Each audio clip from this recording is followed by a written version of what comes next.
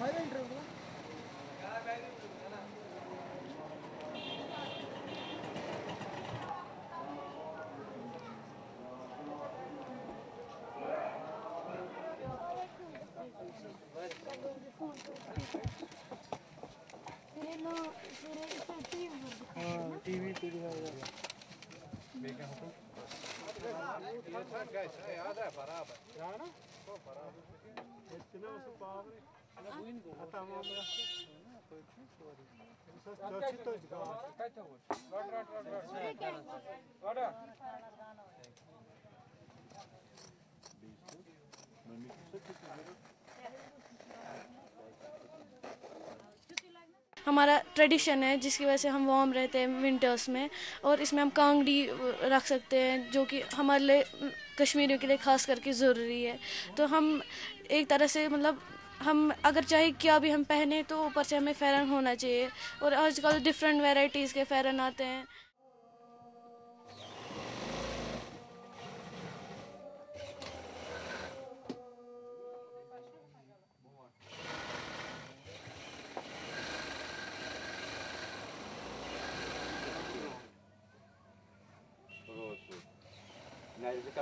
Farren में मतलब कांगड़ी शांगड़ी भी लेते हैं। इस मतलब इस वजह से सर्दी में आजकल चलते हैं फैरन ज़्यादा। और ये ट्रेडिशन भी है कश्मीरी।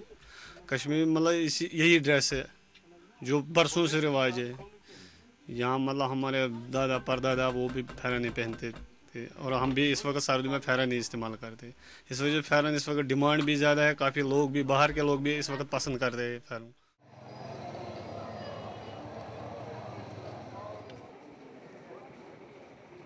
लगा